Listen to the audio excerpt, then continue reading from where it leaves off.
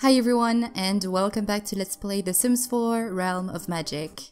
So today it's Harvest Fest, or actually right now it's Harvest Fest and Genevieve is still asleep, she's back at her parents' house which is actually a house that I downloaded off the gallery. And this is the house that I have placed in Oasis Springs. I don't remember if I said where Genevieve's family was living, but now they're living in Oasis Springs anyway, and it's actually closer to Genevieve's mother's work, which I will tell you a bit more about in just a second. But this house was built by Sky with Thane, with Ain, with Anne. I'm not sure how to pronounce this name, this username, but this is the house that I downloaded. It's called Suburban Home 2, and it's just perfect for this family. There are three bedrooms and kitchen, dining, living. There's even a gym area, which is perfect for Judy's work, Genevieve's mother's work. There's an office area, but I will just do a quick tour for you guys to see this house. So this is Genevieve's bedroom right now, and I think it reflects a little bit her personality. It's not heavily decorated, I did not decorate too much this room. But yeah, this is Genevieve's room. This is Anthony's room, Genevieve's little brother. And there's a computer. He's really into computer gaming right now. He's a teenager, so you know, that's what I'm going with. This is Genevieve's parents' room, the master bedroom with the master ensuite. You also have over here the main bathroom area. And then downstairs you have the kitchen and I love this flooring here in the kitchen. It really reminds me of The Sims 1's kitchens, kitchen flooring. You also have a bathroom downstairs and then of course you have the living area with the, the dining area with the living area. You also have a office, as I said, an office, and here is the gym area. So now, also of course, you have the pool and the, the backyard. I just added in a fence because I wanted for the backyard to feel a bit more closed in, like, you know, this is their lot and it's not part of the community. Uh, but yeah, they're living in this neighborhood of Oasis Springs with the roomies just next door. So yeah, this is where the family lives. Now, let me introduce you to the family. So this is Robert Morrison. This is Genevieve's father. Oh no, there's a fire. How did we win 50 simoleons? Oh, because it was Genevieve's day off. Also, I don't know why the family has 9 million simoleons. I guess they won the lottery at some point because I definitely did not leave them with as much with so much money when I first moved them into into the world. So they must have won the lottery at some point. Uh, but let's go and ex extinguish this fire, please. Let's go here, extinguish. Oh, we can call the fire department. Let's do that. I've never done that before, so let's go and call the fire department. Uh, we do have a... Oh, Anthony's on it. Great. And... Oh no, is Ginger on fire? We need to extinguish the dog. Genevieve is on it as well. Wow. Oh well, there we go. That's a good start. uh, at least we got some money out of it. The fire has been put out, just try to be a little bit more careful next time, okay? Yes, we will. Let's go and replace the stove. but there we go. What a good way to start this part. I'm always quite nervous when there's a holiday going on in my game, but I'm even more nervous now.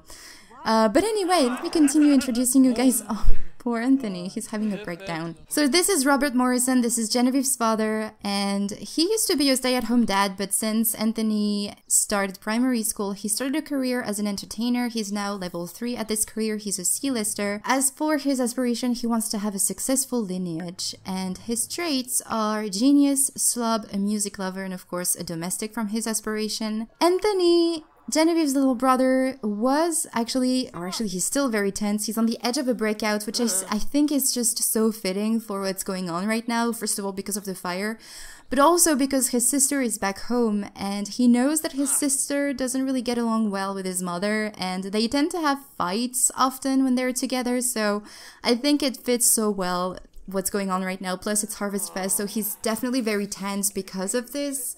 So there you go. As for Anthony, he's a romantic. He's also really gloomy, I guess. The relationship between his sister and his mother kind of got to him and now he's really gloomy. He's also alluring from his aspiration, which is to find his soulmate. And of course, he is in high school. He's a C student right now. And then finally, we have Judy. Judy, as you can see, she's in the military career. And this is something that dictates most of what she does in life. She's very strict. She always tells everyone around her how to behave and what to do. And that's something that Genevieve never really accepted really well. She's never really felt accepted that well by her mother. And this is also why the two of them usually get into a fight. It's because Judy tells Genevieve how to be, what to do, and Genevieve, she just doesn't like that as we know it. So, yeah, Judy, she's in the military, and the family moved into Oasis Springs to get closer from Strangerville to be able to get closer as well from Judy's work. Judy's aspiration is to be a curator, apparently. She wants to collect as many things as possible. She's materialistic, she's also quite cheerful, and she's a foodie, and of course she has the collector trait from her aspiration. And also the family has a dog. They have Ginger over here, who's disgusting. Poor Ginger. And Ginger, uh, let me show you her traits. Ginger, she's playful and she's adventurous, and apparently she only has two traits. I must have forgotten to put her, to give her a trait as well. Uh, but yeah, this is the family, and this is their home. Now, Robert was actually doing so, or actually baking or cooking, sorry, some tofu tofurkey dinner for Genevieve because Genevieve is a vegetarian.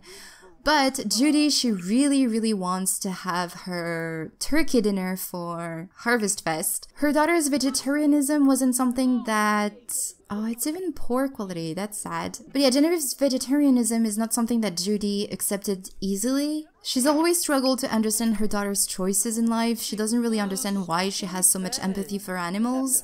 I mean, the family has a dog, and Judy would never eat a dog for sure, but she doesn't really care that much for the other animals. She feels like it's normal for Sims to eat meat. So she's never really understood why her daughter was a vegetarian, and there's always, you know, the main meal and on this side, vegetarian option, but it's just because Robert always thinks about that for his daughter. He's always accepted his daughter completely. He's never really questioned why she was a vegetarian. He just accepted that. While Judy, she's always tried to tell her daughter, well, you can eat meat, it's fine. You ne you've never met that animal. You don't feel anything for that animal. And that's also something that Judy and Genevieve has have fight over for sure at some point. But let's have Anthony give a bath to to Ginger. So what I'd like to focus on for now is to try and have Genevieve be as nice as possible, I guess. Let's have her chat with her mom, so we need to be thankful. Let's try to chat with Judy. Let's sing about Harvest Fest, and I guess she can tell an unbelievable story. Maybe she can kind of give a hint to Judy about spellcasters, by the way, before Genevieve left Glimmerbrook, Astrid asked her to not talk about being a spellcaster and talk about magic. This is definitely something that I think Judy wouldn't accept really easily. And no one in the family knows that Astrid is a spellcaster, even though they've never they haven't seen her in years. They only think that it's because she lives really far away.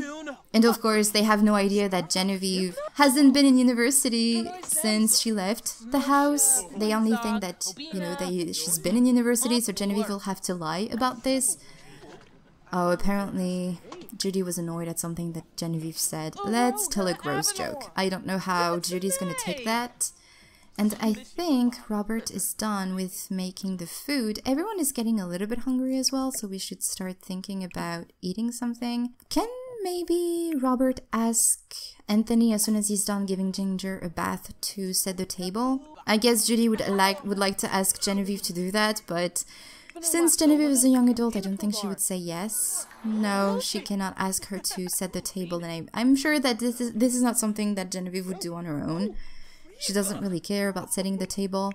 Let's have Anthony leave the bathrooms and Robert ask him to set the table. Robert really wants for this family meeting to go well. Let's go and ask... Uh-huh. Oh, he cannot ask to set the table? Well then, let's just have Anthony do that anyway. Set the table with fancy setting. Let's go with the, the border one, I guess. But let's have everyone sit at the table and hmm. chat together. Let's go and sit. Let's have Robert sing about Harvest Fest. I guess he would be very excited for the holiday to finally be here. He's definitely really excited to see his daughter again.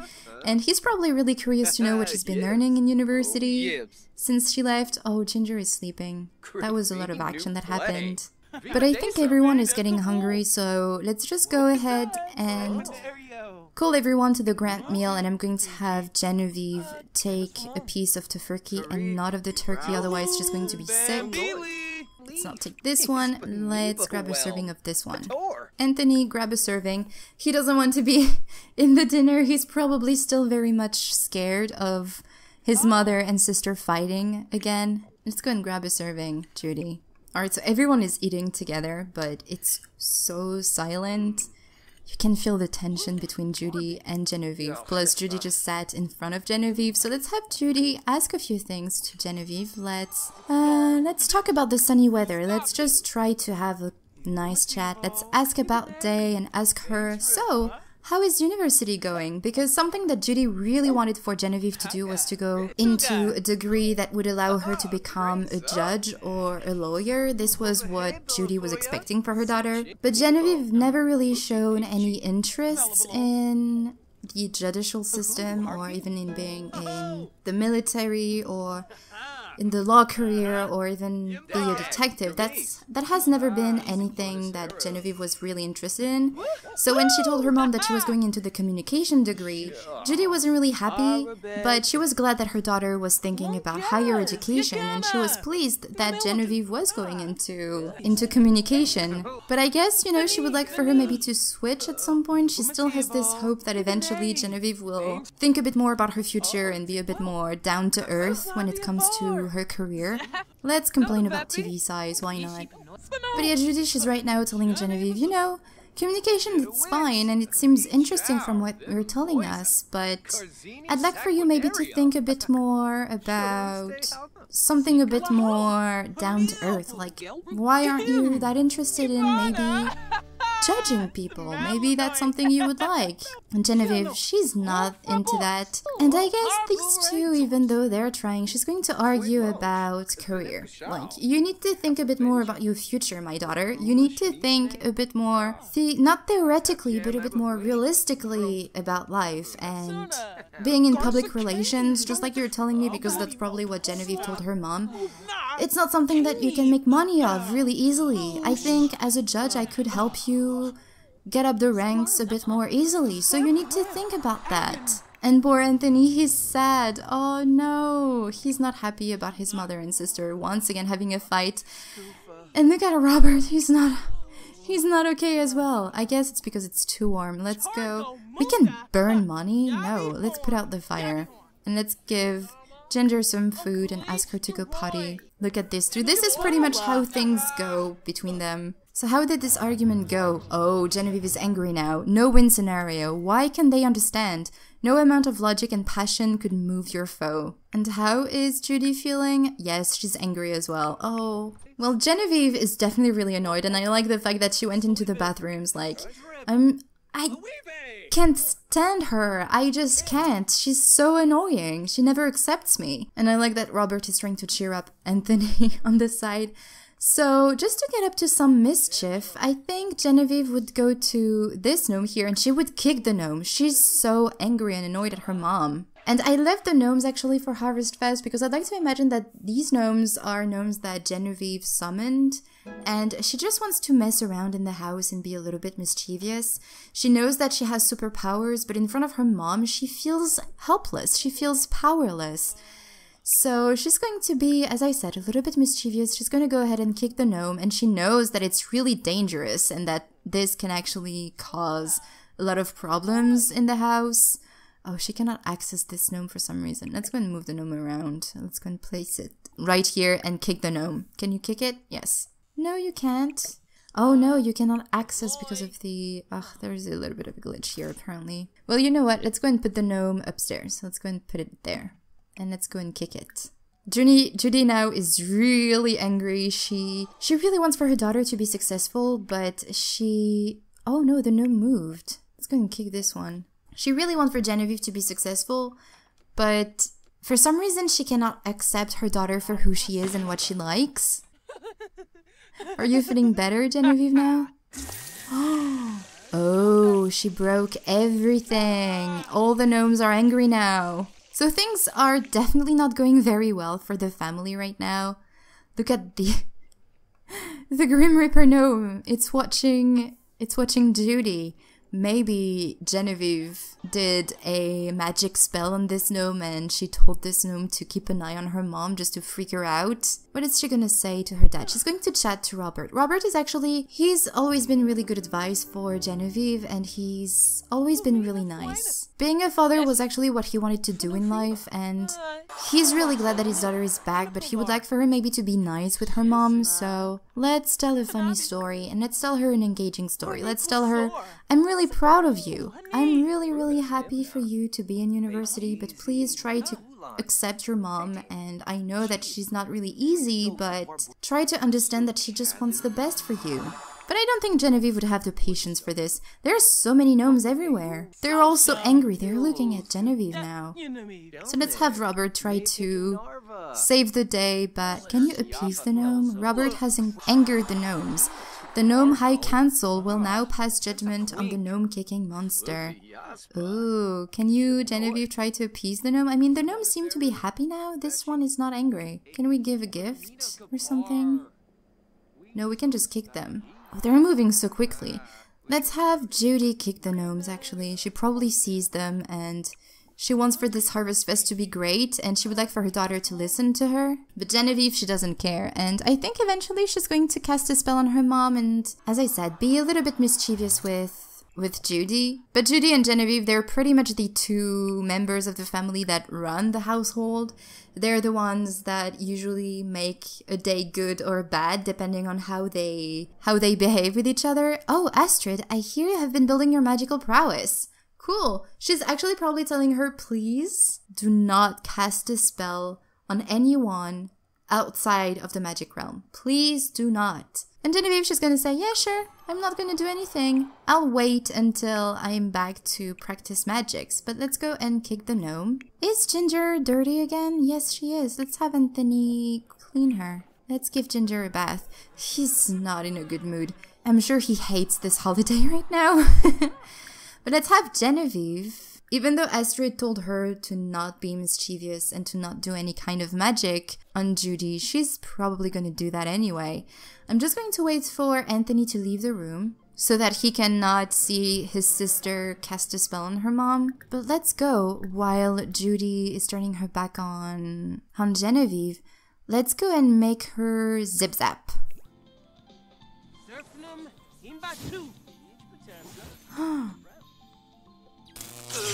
There you go. Is Genevieve gonna be happy now? Yes, she is. Let's go and kick this gnome. And now, she's feeling dazed.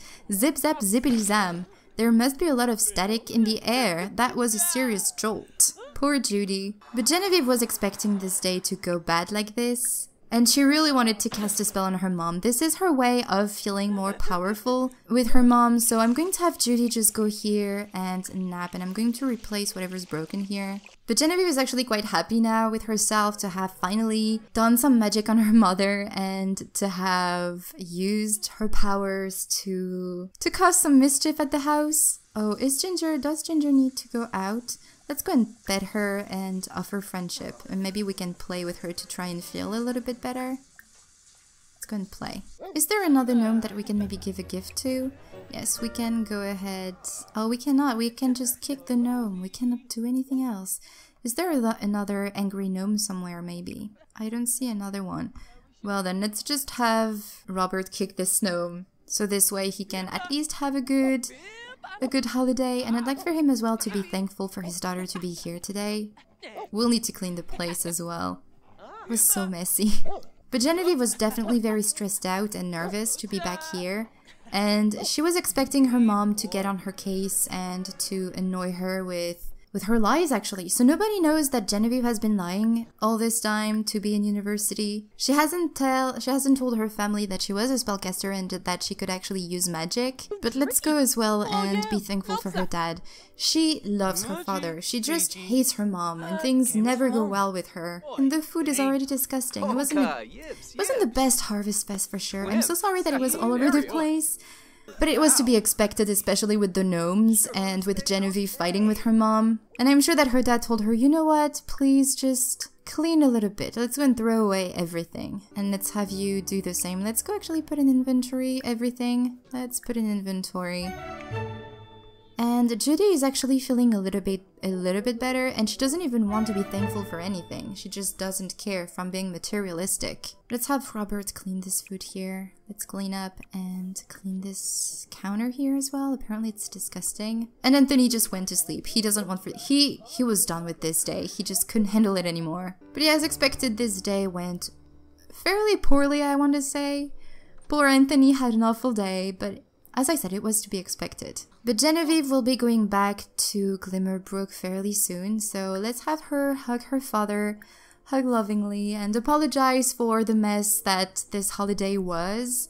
She's not going to hug her mother. Plus, Judy, she's not really the kind to give hugs anyway. But I think that deep inside, Genevieve kind of hoped that her mom would would have changed since she has left the house and that she would have been missing her daughter and that she would have been able to accept her a little bit more easily. But Judy hasn't changed and she's still very strict and she's still hoping for Genevieve to go on a path that Genevieve is just not interested in getting into, you know? She doesn't want to become a judge or go into the law career. She doesn't want to join the military. She just has no idea what to do. And now that she's a spellcaster, she just wants to discover a bit more her powers. And she would have liked to be able to tell her mom that she is a spellcaster. But now she believes that her mom is just never going to accept her for who she is. And she's really angry at her mom. She she's actually quite disappointed in her mother's behavior. And I'm sure that Judy is also disappointed. These two are just not on good terms. Look at that. She's looking at her daughter very angrily. But Genevieve will be spending the night here and she'll be leaving early tomorrow. She told her she told her parents that she had exams on Monday morning and that she had a group project to work on and that's why she had to go back to Britechester tomorrow and not spend the weekend here, but she just cannot stay here any longer. She's glad to have seen her dad, to have seen her brother, and to have seen Ginger, but she just cannot stand her mother and just be near her makes her feel anxious, so she's going to leave tomorrow morning for Glimmerbrook, even though her family believes that she's going back to university. But on that note, you guys, I'm going to end this part here, so sorry that it was all over the place. I, I'm still kind of struggling when it comes to holidays in The Sims, it's still kind of stressful for me. But I really hope that you enjoyed this video, thank you so much for watching, and I will talk to you in the next one. Bye everyone!